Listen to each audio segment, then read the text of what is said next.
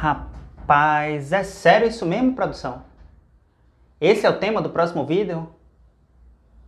A galera pediu, né? Vai dar um trabalho retado para fazer. Ó, eu vou gravar, mas deixa o like logo agora para você não esquecer e fique comigo até o final, porque o vídeo vai ficar um pouquinho extenso e vai dar um trabalho retado para editar, viu? Roda a vinheta.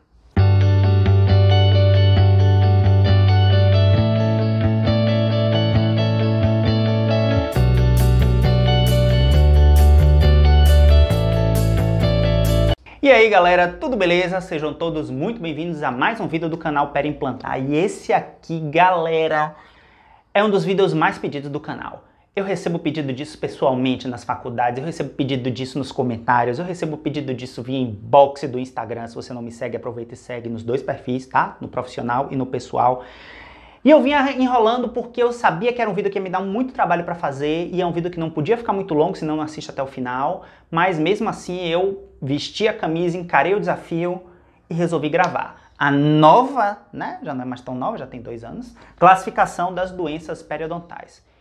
Então, primeiro de tudo, eu não teria como num vídeo de YouTube explorar todos os detalhes de todos os subtipos da classificação com detalhes. O vídeo vai ficar muito extenso. Então resolvi abordar nesse vídeo somente as condições mais corriqueiras, tá bom? E eu vou deixar aqui na descrição do vídeo um PDF com um artigo muito bacana que mostra toda a nova classificação já em português. Vamos para a aula então? Então, Hoje eu vou conversar um pouco com vocês sobre a nova classificação, a classificação mais atual que nós temos para as doenças periodontais. Lembrando que nessa aula eu não vou abordar todas as classificações em detalhes, vou abordar somente as mais comuns. Essa aula não substitui a leitura do, do artigo sobre classificação e futuramente do capítulo, tá? É somente um ponto de partida. Porque se eu fosse abordar todas as classificações aqui em detalhes, esse vídeo ficaria muito longo e eu não quero isso. Eu quero algo mais objetivo, mas que não substitui a leitura em hipótese alguma, tá bom? Então vamos lá. Primeiro de tudo, qual a importância de classificar uma doença ou um sistema de doenças? Quando eu observo essa imagem aqui na tela, eu observo que eu estou diante de imagens de doenças periodontais. Mas a pergunta é: estamos vendo a mesma doença? Todas essas doenças são iguais? São diferentes? São doenças distintas ou são manifestações distintas da mesma doença? Essa é resposta que eu espero tentar responder ao final da videoaula, tá bom? A classificação que nós utilizávamos até então era uma classificação que já tinha quase 20 anos. Era a classificação de 1999, organizada pelo professor Dr. Gary Armitage, da Universidade de São Francisco, na Califórnia. O Dr. Gary, com quem eu tive a felicidade de encontrar alguns meses antes dele ajudar a organizar a próxima classificação, que é a classificação mais atual, que é a classificação de 2018. Observem que o meeting, ou seja, o encontro, a reunião para determinar essa nova classificação, foi feita em 2017. Encontrei com o Dr. Gary meses antes. Mas ela só foi editada e publicada em março do ano seguinte. Por isso ela foi é, conhecida e batizada como classificação de 2018. E por onde é que eu estudo essa classificação, Jorge? É, Normalmente, o melhor livro para estudar classificação é sempre o Carranza, tá? Não me entendam mal, o Lind é um livro excelente, melhor do que o Carranza até para algumas coisas, para outras não, mas classificação vem sempre mais organizado no Carranza. Entretanto, essa classificação ainda não saiu traduzida na data de publicação desse vídeo, ainda não saiu traduzida no Carranza. Certamente na próxima edição, que talvez saia esse ano, de 2020, ela deve vir já traduzida no livro para a gente consultar. O que nós temos por enquanto é o artigo original, publicação em inglês, e uma adaptação muito, muito boa, feita aparentemente em colaboração com a equipe de Araraquara, juntamente com a equipe de Curitiba. Essa adaptação aqui é muito, muito boa. Como eles deixam é, como acesso livre, eu vou deixar o link na descrição para você baixar isso aqui, tá bom? Esse até então é o melhor guia que nós temos para estudar classificação em detalhes, tá bom? É de, publicado lá na revista da Unesp. E como é que a gente classifica? Essa nova classificação ela fez, tentou estabelecer um paralelo. Primeiro, ela pegou todos os artigos relevantes sobre o tema, publicados no período de 1999, quando vigia a classificação antiga, até 2017, fez um levantamento de todas essas publicações, selecionou as mais relevantes e a partir daí selecionou tópicos que serviriam de base para essa classificação de 2018. O objetivo também era tentar estabelecer uma classificação semelhante para as condições periimplantares, que já se discutia, mas não era oficializada, oficial, nem pela Academia Americana de Periodontia, nem pela Academia Europeia de Periodontia, tá bom? Mas hoje nessa videoaula a gente vai focar nas condições periodontais. No que diz respeito a doenças da gengiva, nós temos basicamente três condições saúde gengival total e saúde periodontal também, gengivite induzida por biofilme e doenças gengivais não induzidas pelo biofilme. Hoje a gente vai focar nas duas primeiras, tá? A terceira de doenças não induzidas pelo biofilme. Leiam a classificação, por favor. A gente tem, basicamente, para o primeiro grupo, três subtipos são esses subtipos saúde gengival sem perda de inserção e saúde gengival com perda de inserção. Sendo que saúde gengival com perda de inserção, a gente pode atribuir essa perda de inserção a um paciente que teve periodontite no passado, tratou, estabilizou e hoje ele tem periodontite estável, e a um paciente sem periodontite. De maneira muito semelhante ao que fazemos com saúde gengival, a gente pode atribuir três subtipos também às gengivites induzidas por biofilme. Igualzinho, não muda nada. Gengivite induzida por biofilme sem perda de inserção, gengivite induzida por biofilme com perda de inserção em paciente periodontalmente estável, que teve periodontite prévia, tratou, estabilizou, hoje não tem mais, e gengivite induzida por biofilme com perda de inserção em paciente sem periodontite. Vamos tentar ilustrar cada um deles aqui agora. Quando falamos de gengiva clinicamente saudável, o primeiro subtipo que nós temos é o sem perda de inserção, ou saúde clínica em um periodonto íntegro. Como eu já falei anteriormente, não existe perda de inserção, ou seja, nunca existiu nenhum tipo de perda óssea, e clinicamente eu percebo isso quando eu tenho todos os meus sítios com profundidade de sondagem de até 3 milímetros, não pode exceder isso. Sangramento à sondagem em no máximo 10% dos sítios, sem nenhum indício de perda óssea, seja ela clínica ou radiográfica. O segundo subtipo de gengiva clinicamente saudável é a gengiva clinicamente saudável em periodonto reduzido, num paciente com periodontite estável. O que isso significa? que ele teve periodontite no passado, tratou, estabilizou, hoje ele tem a perda óssea como sequela, mas no momento ele não tem perda óssea progressiva. Ele tem a perda óssea com sequela, a perda óssea que ele teve no passado. Ele não está progressivamente perdendo osso. Como é que eu avalio ele clinicamente? Ele tem perda de inserção, como a gente pode ver aqui nessa imagem, perda de papila, recessões e certamente terá perda radiográfica também.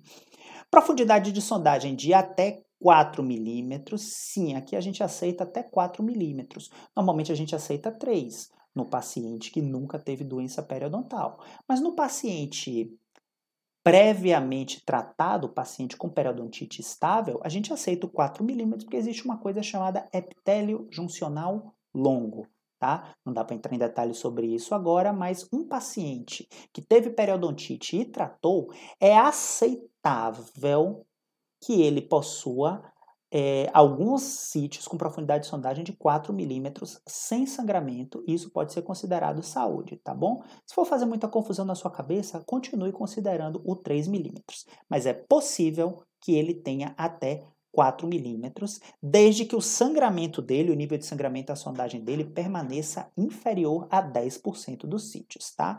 Aí ele continua sendo considerado como um paciente clinicamente saudável, um paciente sem gengivite. Evidentemente, perda óssea radiográfica é perfeitamente aceitável nesse caso. E o terceiro subtipo de gengiva clinicamente saudável é a gengiva clinicamente saudável num periodonto reduzido, um paciente sem periodontite. Tal qual o anterior, esse aqui também possui perda de inserção. O que o difere do anterior? Não é só a questão do número 3 ou do número 4, não é só isso.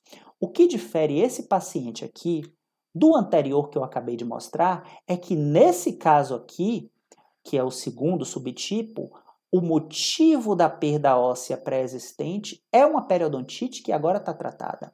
Nesse caso aqui, esse paciente perdeu o osso por algum motivo que não foi periodontite, que não foi doença periodontal. Quais são os exemplos mais comuns?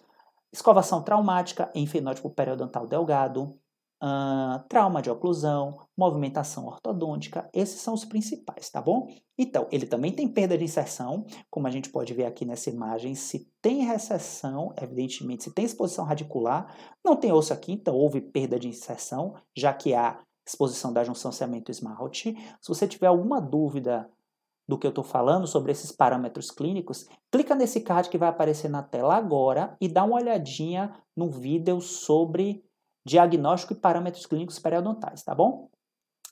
Profundidade de sondagem de até 3 milímetros, não excede isso. Sangramento à sondagem continua inferior a 10% dos sítios e é possível que tenha uma perda óssea radiográfica, como por exemplo, oriunda de uma recessão gengival. Saindo da gengiva clinicamente saudável, saindo do estado de saúde e entrando na doença, a gente sai da gengiva clinicamente saudável e entra na gengivite propriamente dita, ou nas gengivites. Dentre as gengivites induzidas, nós temos dois tipos: gengivites induzidas por biofilme e gengivites não induzidas por biofilme.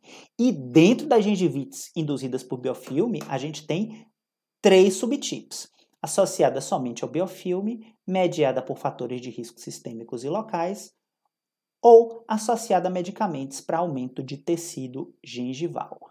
Para que a vida não fique muito extensa, infelizmente, eu vou me ater ao primeiro, tá bom?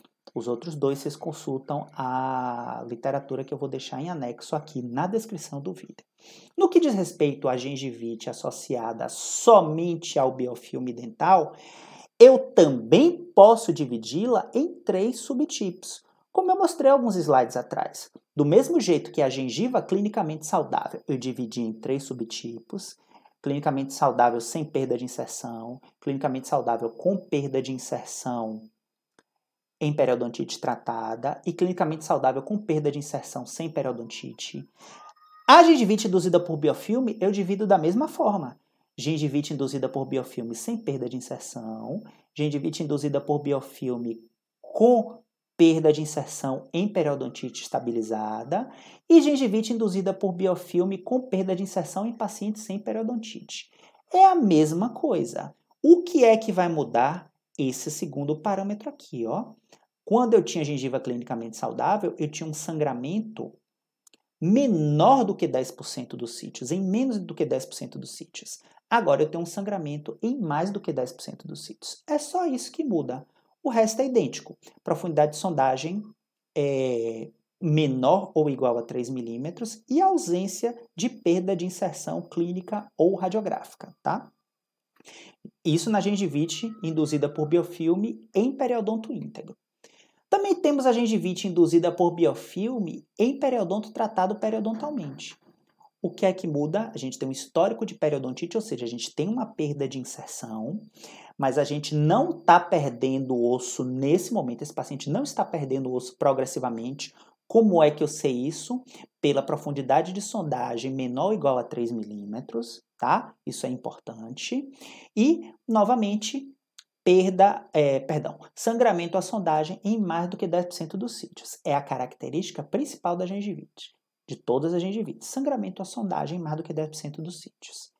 E para finalizar as gengivites induzidas por biofilme, eu tenho as gengivites induzidas por biofilme em periodonto reduzido, sem periodontite prévia. É aquele periodonto que perdeu o osso por um motivo que não periodontite, exemplo, trauma de escovação, trauma de oclusão ou ortodontia prévia, e tem mais do que 10% de sangramento à sondagem. Tá bom? Muito simples. Tudo bem até aqui? Espero que sim. Agora vamos entrar nas periodontites Periodontites são doenças inflamatórias crônicas multifatoriais que têm um, um caráter imunoinflamatório muito forte, muito associado e que tem, é, tem o, o biofilme como fator etiológico primário e que tem como principal sequela a perda de inserção, a perda dos tecidos de suporte dos dentes, a perda do aparato de inserção dental.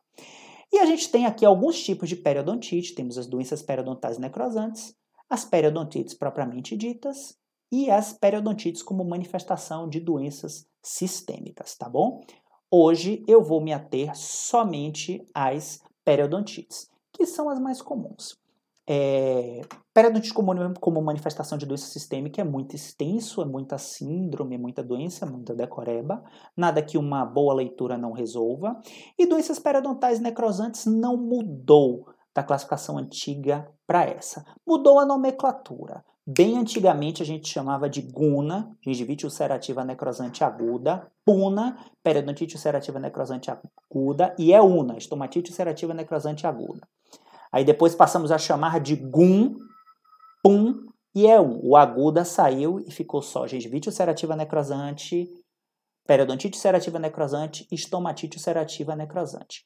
Agora, o ulcerativa saiu da sigla, então virou só gengivite necrosante, periodontite necrosante, tomatite necrosante.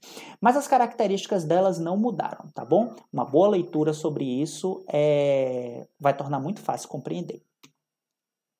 Então, sobre as periodontites propriamente ditas, o que é que marca clinicamente, o que é que caracteriza uma periodontite?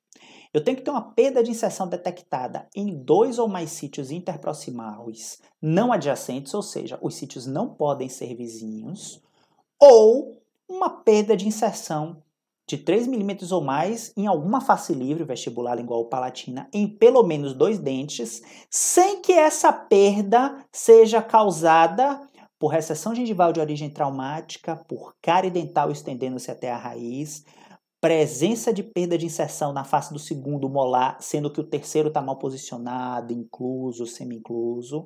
Essa perda de inserção não pode ser por lesão endopério e não pode ser por conta de fratura. Ou seja, a perda óssea, a perda de inserção tem que ser por doença periodontal mesmo. Temos que excluir todos esses fatores para caracterizar uma periodontite verdadeira tá bom? E como é que a gente classifica as periodontites? Para quem já viu alguma coisa da classificação antiga, da classificação anterior, e dentro de alguns anos a gente vai deixar de falar dela, porque as pessoas não vão nem mais lembrar dela, mas hoje ainda é inevitável fazer um pouco dessa comparação, vai perceber que não existe mais periodontite crônica nem periodontite agressiva. Quando eu falo isso para um aluno que no semestre anterior viu a classificação antiga e agora está vendo a nova, ele arregala os olhos, mas é verdade. Não existe mais crônica e agressiva. Todas são periodontites. E a gente vai classificar as periodontites de acordo com os estágios, de acordo com o grau e de acordo com a extensão. Vamos ver como é que funciona isso. A gente tem periodontite estágio 1, quando a gente tem perda de inserção interproximal no maior sítio de até 2 milímetros, de 1 a 2 milímetros. Estágio 2, perda de inserção de 3 a 4 milímetros. Estágio 3, perda de inserção maior do que 4 milímetros, ou seja, 5 ou mais. E quem vai determinar o estágio é o nível de inserção. Pela classificação antiga era o que a gente chamava de severidade ou gravidade da doença. E antigamente era leve, moderada e grave, ou leve, moderada e severa. Grave é uma tradução mais apropriada. Só que surgiu mais uma, surgiu um estágio 4 que não existia, que eu continuo classificando ele com perda de inserção de 5 ou mais, Porém, no estágio 3 já existia uma, um risco eminente de perda de até quatro dentes. E no estágio 5 existia uma perda, um risco iminente de perda de cinco ou mais dentes, ou até da dentição completa. Então surgiu um outro estágio aqui, mais grave, por assim dizer. Mas o importante é dizer que a gente classifica o estágio de acordo com o nível de inserção. A coisa mais próxima que a gente tem do estágio é a antiga severidade. A gente também pode classificar as periodontites de acordo com graus. O que é o grau? É a evidência ou risco de progressão direto ou indireto daquela doença. Então a gente tem grau A, progressão lenta, grau B, progressão moderada e grau C, progressão rápida. Aqui na tabela fica mais fácil da gente ver. O que é que é uma progressão lenta? É uma progressão lenta, é aquela progressão que tem pouca ou nenhuma evidência de perda num período de 5 anos. Uma progressão moderada é aquela que tem, já mostra evidência de perda num período de 5 anos, mas essa perda é de 2 milímetros ou menos. E o que é que é uma progressão rápida? É uma progressão que mostra mais de 2 milímetros de perda num curto período de 5 anos. Lembrando que, radiograficamente, o grau A e o grau B, a lenta e a moderada, radiograficamente, normalmente se apresentam como perdas ósseas horizontais. E o grau C, que é a progressão rápida, radiograficamente, muitas vezes ela apresenta a característica de mostrar uma perda óssea vertical, tá bom? No grau A, na lenta, a gente tem uma quantidade de biofilme pequena, perdão, a gente tem uma grande quantidade de biofilme com baixos níveis de destruição. No grau B, eu brinco com os alunos dizendo que ele dança conforme a música. Se eu tenho muita quantidade de biofilme, muita quantidade de destruição. Isso, claro, modificado pelo tempo. O grau C, ele tem uma presença de destruição periodontal incompatível com a quantidade de biofilme. Ou seja, o grau C, progressão rápida, pequenas quantidades de biofilme podem causar grandes quantidades de perda de inserção em um curto espaço de tempo, tá bom?